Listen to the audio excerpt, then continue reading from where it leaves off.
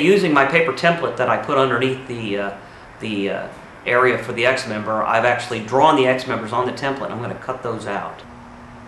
Okay, now that I took my piece of paper out from under my frame, I was able to draw a center line from corner to corner and lay the steel bar on top of this and go ahead and draw my lines on the paper. What I'm going to do is I'm going to cut out this strip.